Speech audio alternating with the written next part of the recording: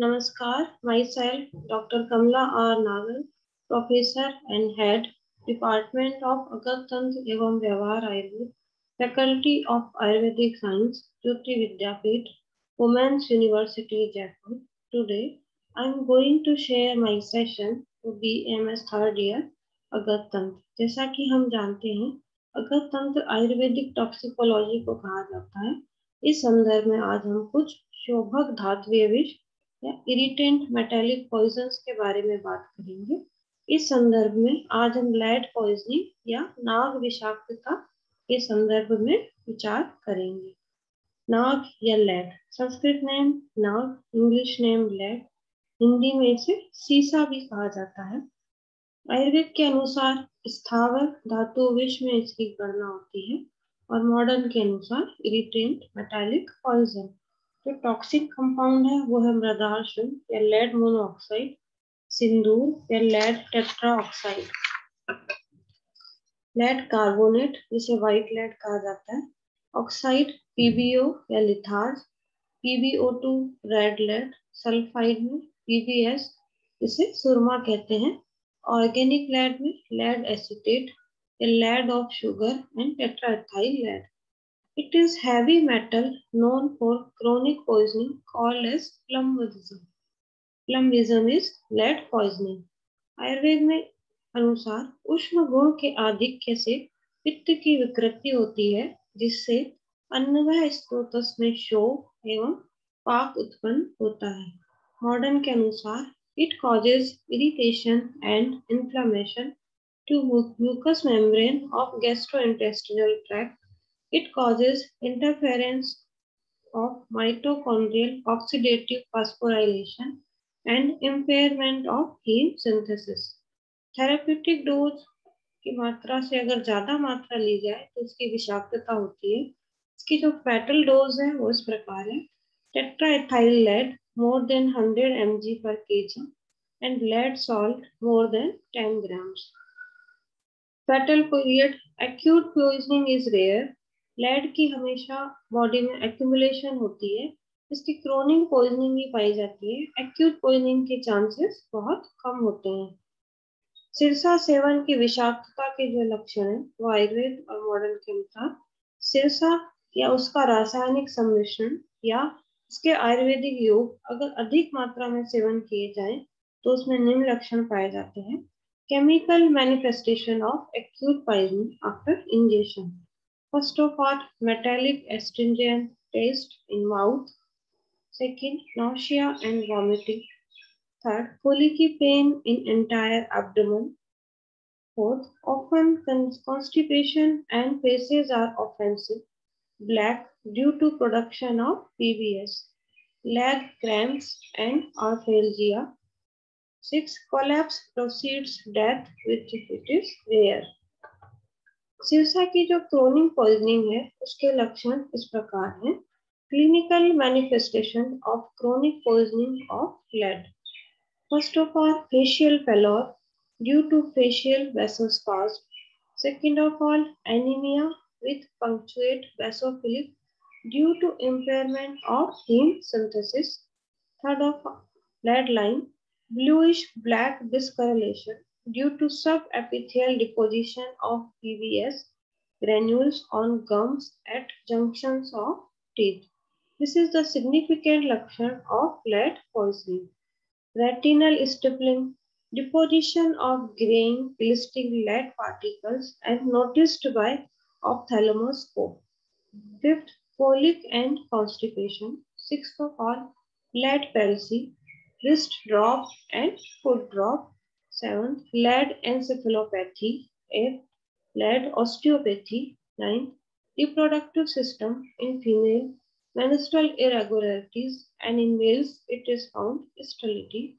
Tenth of all, hypertensive cardiopathy is commonly found in PPS yeah, lead poisoning. Diagnosis of acute poisoning of lead. History of ingestion lead compound in fetal dose metallic astringent taste in mouth, colicky pain in abdomen, often constipation and faces are offensive, black due to production of PBS. Blood lead is more than 55 micro per dial in child and more than 80 microgram in DL in adult.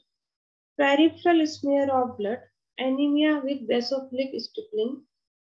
Urinary lead level is more than 100 micrograms liter per day. Management of ingested acute lead poisoning lead poisoning की जो चिकित्सा है, वो इस प्रकार की जाएगी। First of all डिसोसाइटेशन इसमें जनरली चिकित्सा की आवश्यकता नहीं होती है, क्योंकि कभी भी लेड की इमरजेंसी पॉइजनिंग नहीं होती है। बॉडी में ये एक्यूमुलेट होता रहता है।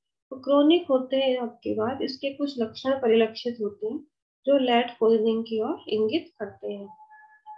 Second removal of unabsorb poison या अनावशोषित विष का जो निवारण है, अगर पेशेंट कॉन्शियस है ओरिएंटेड है स्टेबल है तो आप पोस्ट इमेसिस कराते हैं, मधु या स्टीफांट या आकंठ लवण जाल पिला के अगर पेशेंट अनकॉन्शियस है या डिसोरिएंटेड है वाइटल स्टेबल नहीं है तो गैस्ट्रिक लवाज कराया जाता है। परगेशन या विरेचन, गंधर्व हरित की चून पाँच ग्राम, शुंठी फांट के स्वाद देने पर विरेचन शुरू हो जाता है, जिससे लेड की कुछ मात्रा शरीर से बाहर निकल जाती है। शोषित विष के निवारण के लिए पोस्ट डायूरेसिस या मूत्रण द्रव्यों का सेवन कराया जाता है, ताकि मूत्र के साथ कुछ इसकी मात्रा शरीर से बाहर निकल सके। यूज़ ऑफ़ एंटीडोट एंटीडोट में मैकेनिक जो है मैकेनिकल एंटीडोट गोग्रत या गो दुग्ध रासायनिक जो एंटीडोट है, वो इसका होता है मैग्नीशियम सल्फेट और Na2SO4 which produced insoluble lead sulfide. Specifically जो मॉडर्न में इसका एंटीडोट काम में लिया जाता है, वो इंजेक्शन ईडीटीए वन ग्राम पर आईवी स्पेसिफिकली आयुर्वेद में जो इसका एंटीडोट बताया गया है, वह हेमाहरितिकी प्लस मिश्री तीन दिन तक इसका सेवन कराया जाता है। लाक्षणिक चिकित्सा के लिए दाह में धान्यक्यूम उधर शूल में कॉलिकार्मिन सिरप और अगर डिहाइड्रेशन है पेशेंट को तो षडंग पानी, शीत शुद्ध जल या नींबू पानी का सेवन कराया जाता है। जो क्रोनिक जो लेड पॉइजनिंग होती है, उसकी आयुर्वेदिक मैनेजमेंट किस तरह से की जाती है? उसमें विरेचन कराने कराया जाता है। स्नूही वटी, जिसमें कि स्नूही शीर और सेंधा होता है, उसे त्रिफला क्वाद से देने से धातुगत सीसा का निवारण हो जाता है। लाक्षणिक चिकित्सा जो है वो इस तरह है। अगर मरीज़ को या विषाक्रांत को एनीमिया है लेड पॉइजनिंग की वजह से तो लोह या मंडूर योग, धात्री लोह, पुनर्नवा मंडूर, इनका सेवन कराया जाता है। अगर हाइपरटेंसिव कार्डियोपैथी है तो अर्जुन चूर्ण का सेवन कराया जाता है। अगर कॉन्स्टिपेशन है लेड फेल्सी या ऑस्टियोपैथी है तो योग वस्ती का प्रावधान इसमें किया गया है। लेड इंड्यूस्ड ऑक्सीडेटिव स्ट्रेस इसमें एंटीऑक्सीडेंट लाइक गार्लिक करक्यूमिन आमल की चूर्ण एंटीऑक्सीडेंट जैसे सेंट्रल एशियाटिका ब्राह्मी आदि का सेवन कराया जाता है या लक्षण आदि वटी इस स्थिति में श्रेष्ठ मानी गई है। Management of chronic lead exposure by modern medicine उसमें कीलेटिंग एजेंट के तौर पर इंजेक्शन ईडीटीए पर ग्राम पर IV 5 percent glucose drip twelve orally five days तक देने से इसके विषाक्तता का निवारण होने की संभावना है। अगर किसी किसी कारणवश विषाक्रांत की डेथ हो जाती है तो उसकी पोस्टमार्टम अपेयरेंस क्या मिलेगी, उसको हम वर्णन करेंगे। Externally not specific internally the stomach में gastric mucosa is congested and may be eroded patches sometimes. Intestine, black colored fecal matter may be in large intestine. Chemical analysis में विसरा एग्जामिनेशन के लिए स्टमक की जो है stomach हो B one में stomach whole plus stomach content 100 M L small intestine 30 centimetre B two में liver half K G spleen half kidney half of each इसको स्पेसिफिक विसरा में बी थ्री में sharp of long bone ten centimetre plus plucked scalp hair five gram plus finger nail इनको भेजा जाता है। Preservative इसमें NaCl water लिया जाता है। मेडिको लीगल एस्पेक्ट क्या है? मेडिको लीगल केसेस किस तरह के होते हैं? वो प्रकार है? एक्सीडेंटल में children often have a craving for eating inedible things such as lead, lead-based mica, paints, toothpaste, tube, it causes poisoning, which is called pica. Suicidal is very rare. Homicidal not used generally. Therapeutic overdose not found generally. Occupational hazard will be found among workers which are working in factories belonging to lead. Chronic poisoning continuously use of water from lead pipes and infant may suffer from slow and progressive lead poisoning by imbibing lead secreted in mother's milk from face powder, skin cosmetics and hair dyes containing lead. शोधन क्योंकि औषधीय योगों की overdose से भी lead poisoning हो जाती है अगर लंबे समय तक नाभ युक्त औषधियों का सेवन किया जाए तो उससे लेड पॉइजनिंग होने की संभावना होती है, लेकिन इसलिए आयुर्वेदिक औषधियों में इस तरह के जो मेटल्स होते हैं, उसको हमेशा शुद्ध करके या संस्कारित करके ही काम में लिया जाता है। जो शोधन है, वो नाग का इस प्रकार से होता है।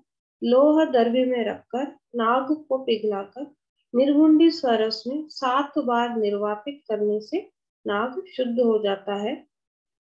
नाग को द्रवित कर निर्गुंडी स्वरस में एक बटा सोलह भाग निर्गुंडी मूल चूर्ण हरिद्रा, रेणुक बीज चूर्ण मिलाकर निर्वापित करना चाहिए।